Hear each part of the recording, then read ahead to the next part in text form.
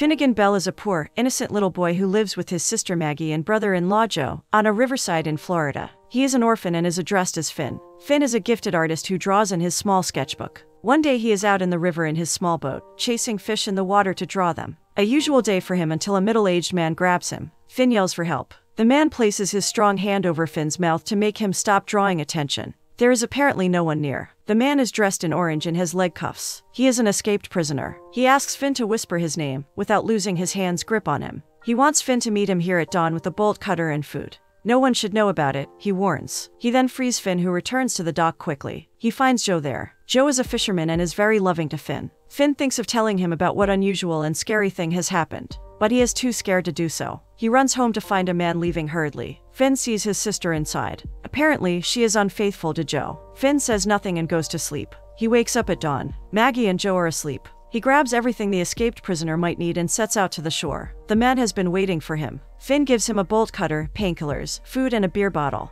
Finn watches him cut his leg cuffs. Finn bites his fingernails out of habit. The man forbids him and says it is not a gentlemanly thing to do. He then asks Finn to get in the boat with him and sail to Mexico. Finn says he needs to get back home. The man forces him to come along. They get in the boat and set out on waves. The sun has risen. They are far away from shore and surrounded by water waves. Finn spots a police boat coming their way. The man jumps into the water and hides beneath the waves. The police boat comes near Finn's boat and asks if he is okay. Finn acts cool. The police are searching for an escaped prisoner. Finn says he hasn't seen anyone. The police offer to tow his boat and help him get to the banks. Finn secretly throws a life jacket for the man in the water before leaving with the police. Days pass by. Finn probably forgot about the incident and never told anybody about it. But he did draw a sketch of the man in his drawing book. Joe has some handyman work to do for a millionairess in Nora Driggers Dinsmoor. He drives to her grand mansion and takes Finn along. Ms. Dinsmoor is a bitter, secluded crone. 30 years ago, she was left stranded by her disloyal fiance on her wedding day. Since then, time and life stopped for her. She has become bitter, cold, and venomous. Her mansion, Paradiso Perduto, meaning the lost paradise, once was a vibrant place, but now is covered in cobwebs and dust. It stayed as it was on her wedding day. She now dresses in flamboyant fashion with horrible makeup. Her niece, Estella, resides with her. She is a pretty little girl of the same age as Finn. Joe goes to the main door to talk to Ms. Dinsmoor. Finn stays behind in the front garden, observing the peculiar place. That is when he first sees Estella, who comes walking in front of him. They look at each other. Finn looks mesmerized by her beauty. She asks for his name and leaves. Joe comes back with a paycheck and drives back home with Finn. Ms. Dinsmoor saw Finn on his visit. She wants him to come to her mansion daily to play with Estella. She calls Maggie. Maggie is overjoyed at this offer. Joe doesn't think it is a good idea to send little Finn to an eccentric old lady in that creepy place. Maggie is tired of poverty and doesn't mind earning some cash through this. Finn leaves them arguing to watch television. That escaped prisoner is on the news. His name is Arthur Lustig. He has been arrested. He was charged with the death penalty for committing murder. Maggie is dropping off Finn at Ms. Dinsmoor's mansion. He is dressed nicely with his hair combed properly. He is instructed by Maggie to talk properly and behave in a mannerly manner. Finn rings the bell. Estella receives him and shows him around. She tells him about the roof being of gold and design inspired by exotic monumental buildings. Estella acts and talks like a diva. She clearly looks down upon poor Finn and is haughty. She leaves him outside Ms. Dinsmoor's room. She really is crazy, dancing to a song on a gramophone.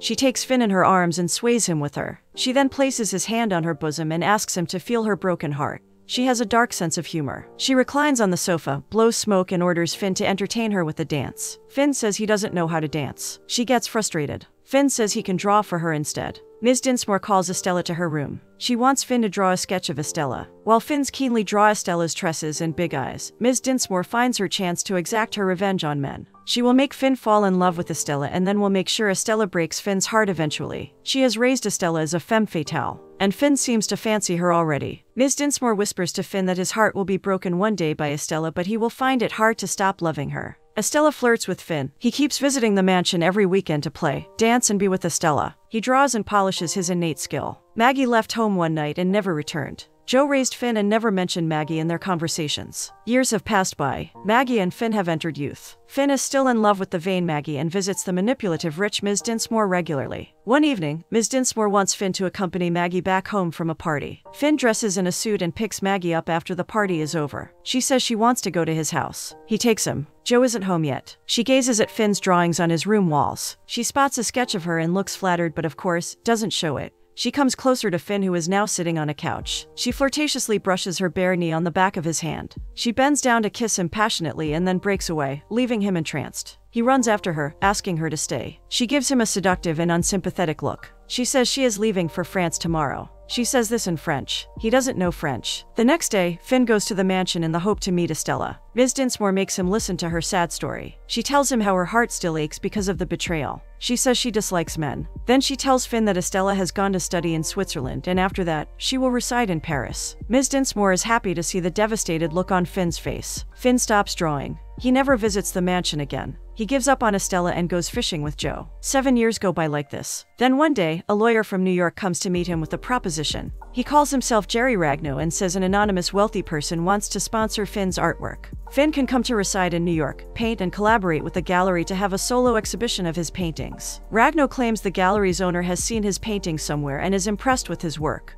The secret benefactor will cover all of his expenses. Finn is incredulous. He stopped painting a long time ago, and now, a mysterious man appears to fulfill his dreams. Finn decides to take it. He assumes Ms. Dinsmoor is this secret benefactor. He goes to meet her after a decade. She neither denies nor admits that she is sponsoring him. She says she believes in his talent and will come to attend his exhibition. Finn learns that Estella is also in New York. Finn is nervous about flying to a big new city. He has doubts about his artistic skills. Joe boosts his morale like always and says he can do it. Finn lands in New York and meets Erica Thrall, the gallery owner. Finn tries to know what painting of his she happened to see and it made her willing to have him. But Erica never gives a straight answer. She asks Finn to draw something and prove his worth to her. Finn goes into the streets and draws. He is surprised to know he is a natural. A decade of hiatus hasn't diminished his skills whatsoever. It is in New York streets he crosses paths with Estella. She is coquettish as always. She apparently is happy to see Finn. She asks him to meet her tomorrow. Finn arrives at the high-class club she told of. She has some friends with her. They all look like important rich folks. Finn takes a seat. Estella introduces him as her childhood love,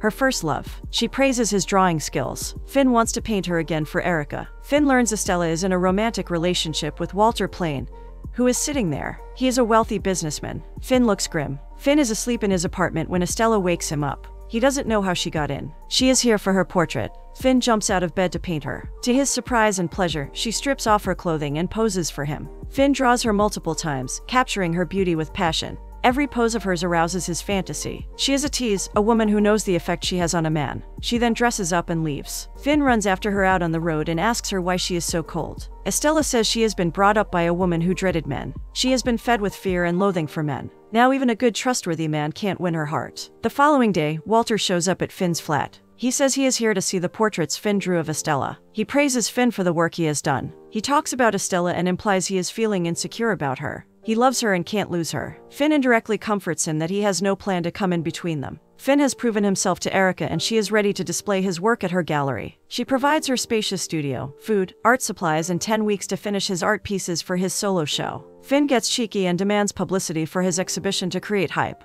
Ragno is at his service with resources and money on behalf of the benefactor who must be Ms. Dinsmoor. Finn believes Ms. Dinsmoor is helping him to become up to mark for Estella. Finn decides to indulge in the good luck life has brought to his doorstep. He paints and enjoys prestige. His inspiration is his personal life. He draws Maggie, Joe, Arthur Lustig, and Estella. He makes up an inspiring life story of his. He lies that Joe was a drug dealer who passed away and Finn was left with no place to stay. He spent years living in a car. Erica has been successful in doing Finn's publicity. He is all over the news and in magazines. People are anticipating a poor Florida fisherman's art show. He is invited to charity dinners and meets important people. He now dresses in a suit and cherishes his popularity. Estella comes back once again with her playfulness. She tells him that she is marrying Walter soon. Finn is shattered. He can't understand why she is telling him this. She might be wanting him to stop her. Assuming so, Finn sets out to stop her. He is supposed to attend an important event, but his mind is elsewhere. He runs to a restaurant where Estella is dining with Walter. He offers to dance with her. She gets up and dances with him. Walter stays seated and silent. Finn and Estella kiss. They leave the restaurant to go to Finn's flat and spend a romantic night together. The next day, she leaves, saying she is going to Florida to meet her aunt. She promises to come back soon to attend his exhibition. Today is his show at the gallery. It is turning out to be a huge success. Erica wants him to meet a famous critic and many other high-profile people. Ragno is there too. Everyone is congratulating him and applauds him for his success. But he is preoccupied with Estella, who is on his mind. She hasn't shown up. Joe pays a surprise visit. He is proud of Finn. He has come dressed in a rented tux. Finn has mixed feelings about seeing Joe at his show. Joe is talking loudly in excitement. His crudeness is embarrassing for Finn. Joe is inadvertently blowing off the lies Finn has told people around. Joe is no drug dealer and is very much alive. Joe accidentally bumps into a waitress and knocks down a tray with glasses on. Finn frustratingly snaps at Joe, who apologizes to everyone and heads out. Finn follows him and says it is just not good timing. Joe acts coolly and leaves, telling Finn that he is very proud of him. All of Finn's paintings are sold out. Finn believes he has achieved what he always wanted and is now worthy of having Estella. She must be back from Florida by now. He goes to see her at her abode and is surprised to see Ms. Dinsmoor there. She is here to attend Estella's wedding. Estella has married Walter. Walter wasn't proposing to her, so she used Finn to make him jealous and marry her. Ms. Dinsmoor once again watches Finn hurting, a man pining for a woman. She reveals her manipulative plan to him. How she taught Estella to lead him on and make him chase her. How she trained her to break his heart for good and leave him. Ms. Dinsmoor reminds him of the warning she gave him when he was little, a warning that Estella will break his heart. Finn takes Ms. Dinsmoor's hand and places it on his chest, the way she did years ago. He asks her to feel his broken heart. Ms. Dinsmoor at that very moment realizes the terrible thing she has done. She is sorry for her devious plan and wails in regret. Finn leaves. That night a man shows up at Finn's flat. He says he needs to use his phone to call the police. He claims to have been chased by some goons. Finn lets him in. He pretends to make a call to the police. He then introduces himself to Finn. He is Arthur Lustig. Finn is unable to recognize him. Arthur helps him recall. He was caught but managed to escape again. Finn is uncomfortable having him at his place. But Arthur looks excited seeing Finn, a successful artist. He looks around at his artwork and commends him. Arthur says he remembered Finn as a little kind-hearted boy who helped him sincerely years ago. Finn deserves the good things he has got. Arthur gets up to leave, seeing Finn at unease. Finn isn't in his senses tonight but manages to offer his help to get Arthur out of the building without being seen by police and goons chasing him. They head for the train station.